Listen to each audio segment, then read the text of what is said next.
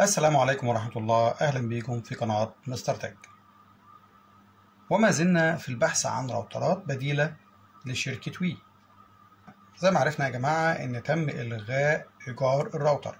تم إلغاء إيجار الراوتر سواء كان الراوتر ال VDSL أبو 5 جنيه أو راوتر ال super vector أبو 10 جنيه.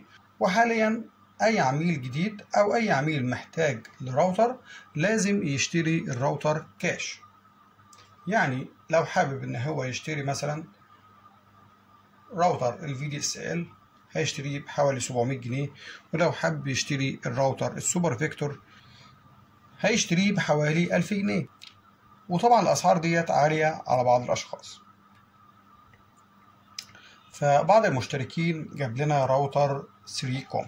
الراوتر ده يا جماعة من الراوترات القوية جدا جدا جدا. الراوتر ده كان في يوم من الأيام من أقوى الراوترات. تعالوا برضو نشوف الموديل بتاعه. الراوتر ده 3Com موديل WL 552 السؤال هنا بقى يا جماعة. الراوتر ده كان عند أحد المشتركين والسؤال هل يا ترى الراوتر ده يشتغل مع شركة WE ولو اشتغل مع شركة WE السرعة بتاعته هتبقى كويسة ولا مش كويسة؟ الراوتر ده يا جماعة بيستحمل سرعة لحد 15 ميجا يعني من 5 ل 15 ميجا. راوتر ADSL عادي جدا. فلو عند حضرتك راوتر زي ده هل ينفع يشتغل مع شركة وي النهاردة إن شاء الله إحنا هنعمل تجربة للراوتر ده. يعني هنفتح إعدادات الراوتر سوا وهنعمل إعداداته وهنشوف هل يا ترى ينفع يشتغل مع شركة وي ولا لأ والسرعة اللي هيسحبها قد إيه.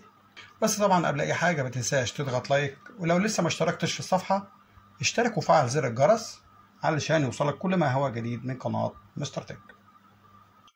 يلا بينا نعمل الاعدادات ونشوف يا ترى الراوتر ده هيشتغل مع شركة وي ولا لأ. هنفتح طبعا المتصفح بتاعنا. هنكتب IP الراوتر واحد تسعة اتنين dot واحد ستة تمانية dot واحد dot واحد.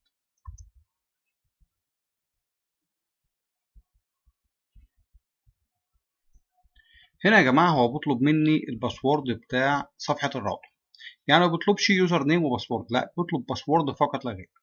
بيقول لي جنب منه أهو إن ال default بتاعه هو admin تمام؟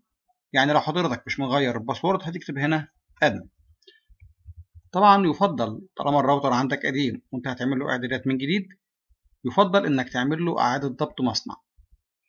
طبعا بتكون عن طريق فتحة ال reset بتضغط عليها ضغطة طويلة بسن قلم رفيع أو بالدبوس لحد ما الراوتر طبعا لمبات كلها تفصل وترجع تنور من جديد. هنا بقى يا جماعة هنكتب كلمة admin a d m i n. وهنضغط على login. طبعا admin حروفها كلها سمول هنا بقى هيطلب مني البلد طبعا بنختار Egypt وبتضغط على apply و OK بعد كده بيطلب منك تغيير password ده password صفحة الراوتر. فهتكتب هنا ال password القديم وهنا هتكتب ال password الجديد مرتين طيب أنا لو عايز أسيبه admin زي ما هو فيها مشكلة؟ لا طبعا ما فيهاش مشكلة. ممكن تسيبه فاضي خالص وتضغط على next. كده؟ كده هو admin زي ما هو. هنرجع نفتح صفحة الراوتر مرة تانية ب admin admin ونضغط على login يبقى كده كل اللي أنا عملته اختيار البلد وتغيير ال password. ممكن تسيب ال password وما تغيروش ويفضل زي ما هو admin تعالوا بقى نعمل الاعدادات الأساسية للراوتر هنضغط على wizard. جايب لي هنا طبعا ال password ده طبعا password صفحة الراوتر. وزي ما قلنا ده اختياري. عايز تغيره غيره. عايز تسيبه زي ما هو سيبه. هنسيبه زي ما هو هنضغط على next هنا طبعا بيقول لي إن أنت مغيرتش ال password. عايز تكمل على كده؟ مفيش مشكلة. نكمل نقول له OK. نيجي بقى لاختيار التوقيت. هنا طبعا بتختار في ال time zone بتختار طبعا توقيت Cairo اللي هو توقيت القاهرة. وبتضغط على next. بنيجي بقى لل connection type بنختار طبعا ال triple P O E اللي هو واقف عليها. وبنضغط على next. طبعا يا جماعة هنا لو اخترت أي اختيار تاني غير ده الإنترنت مش هيشتغل معاك. تمام؟ إحنا بنشتغل على triple P O E هنا بقى بنكتب ال username وال password بتوع الخدمة. ودول طبعا حضرتك بتجيبهم من خدمة العملاء. تتصل بثلاث وحايد بعد ما بتكتب كود المحافظة والرقم الأرضي بيقول لك اضغط واحد لإرسال اسم المستخدم وكلمة السر. حضرتك بتضغط واحد وبيجي لك على الموبايل. ده لو انت مسجل الموبايل عندك. أما لو انت مش مسجل الموبايل بتضغط أربعة للدعم الفني وبتطلب منهم ال username وال password بتوع الخدمة. فهنا هنكتب ال username بس خدوا بالكم يا جماعة هنا لازم نكتب كلمة at tedata dot net dot eg بالكم هي مش مكتوبة هنا. في راوترات TE Data وراوترات وي بتلاقي الكلمة ديت موجودة تلقائي. وده اللي بيخلي الراوتر ما يشتغلش غير مع شركة وي أما هنا فهي مش مكتوبة. ففي الحالة دي حضرتك لازم تكتبها. طب أنا لو ما كتبتش at tedata.net.eg هل الإنترنت هيشتغل معايا؟ لا طبعا مش هيشتغل معاك. لازم تكتب at tedata.net.eg بالنسبة بقى لل password هنا بنكتبه مرتين. مرة في ال password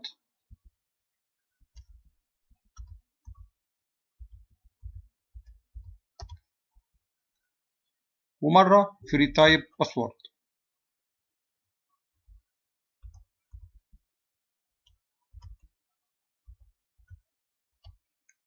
وتراجع كويس ال username وال password لأن أي تغيير في الأرقام الخدمة مش هتشتغل معاك.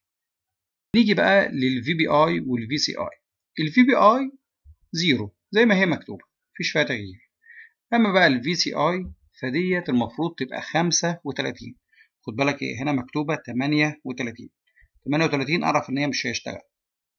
لازم يتكتب خمسة وتلاتين.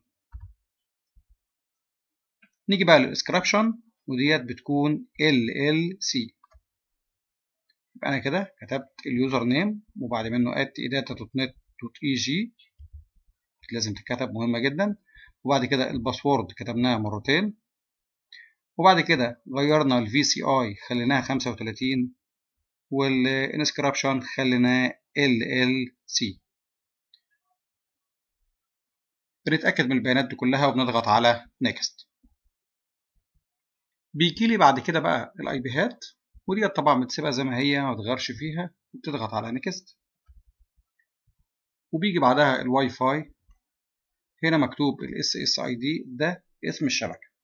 حابب تغيره؟ غيره. مش حابب تغيره؟ مفيش مشكلة. بعد كده بنضغط على Next كده أنا خلصت الإعدادات بتاعتي. كده المفروض الإنترنت شغال معايا. طيب في حاجة أخيرة إحنا لسه ما عملناهاش. إيه هي؟ تغيير ال password بتاع الواي فاي. الراوتر ده يا جماعة الواي فاي بتاعه بيبقى مفتوح. يعني ال default بتاعه يعني بمجرد إنك بتعمل له إعادة ضبط مصنع الواي فاي بتاعه بيبقى مفتوح.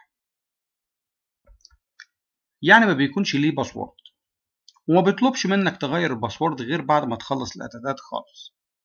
لأن طبعا لو أنت غيرت ال password وأنت شغال واي فاي أكيد صفحة الاعدادات هتروح منك ومش هتعرف تكمل اعدادات. فإحنا بعد ما بنخلص اعداداته خالص بنغير ال password بتاعه بنغير ال password من wireless settings wireless settings نضغط عليها. هنا طبعا ال SSID اللي هو الاسم.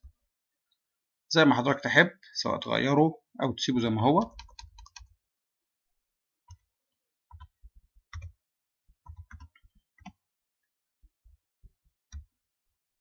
بنغيره ونضغط على Apply. ولو حابب تخفي الشبكة فممكن تخفيها من ال SSID Broadcast. بتضغط على Disable. كده أنت خفيت الشبكة. بنيجي بقى على Encryption. دي أهم حاجة طبعا في ال wireless اللي هو ال password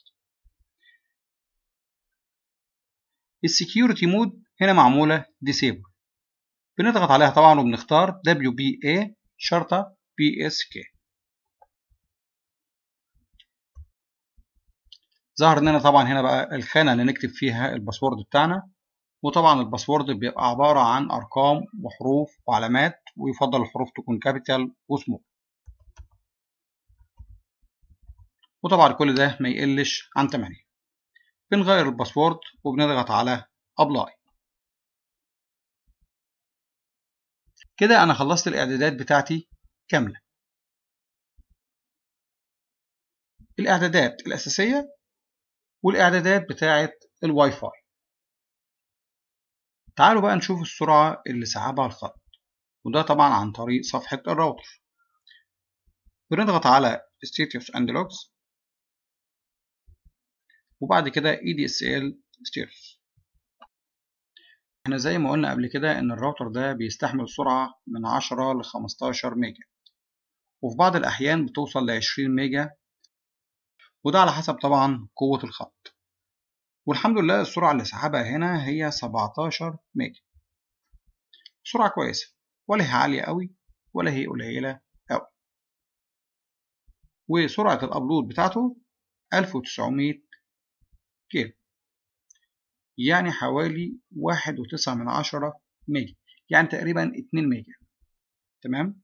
يبقى كده هو وصل معايا لاتنين ميجا تقريبا upload والسبعتاشر ميجا download أظن السرعة كويسة معقولة متوسطة. وطبعا السرعة المتوسطة ديت هتكون سبب في إن الباقة مش هتخلص معايا بسرعة. وفي نفس الوقت هيديلي سرعة برضو ما هياش قليلة يعني سرعة متوسطة. فدي حاجة كويسة جدا. طيب اللي يهمني بقى أكتر من ده وده هل الراوتر فعلا شغل إنترنت عندي ولا لأ؟ تعالوا بقى نفتح صفحة إنترنت ونتأكد من الخدمة وليكن مثلا جوجل. كده الخدمة اشتغلت معايا تمام. يعني معنى كده إن راوتر سيريكوم اللي كانت بتوزعه شركة تي داتا زمان على العملاء فعلا يشتغل مع شركة وي. وبكده نكون وصلنا لنهاية حلقتنا. طبعا لو عجب حضرتك الحلقة ما تنساش تضغط like. ولو لسه ما اشتركتش في الصفحة اشترك وفعل زر الجرس علشان يوصلك كل ما هو جديد من قناة مستر تك. وأي سؤال أو استفسار سيبهولي في التعليقات على صفحتنا صفحة مستر تك. أو على صفحة وي support على الفيسبوك. وشكرا على حسن متابعتكم.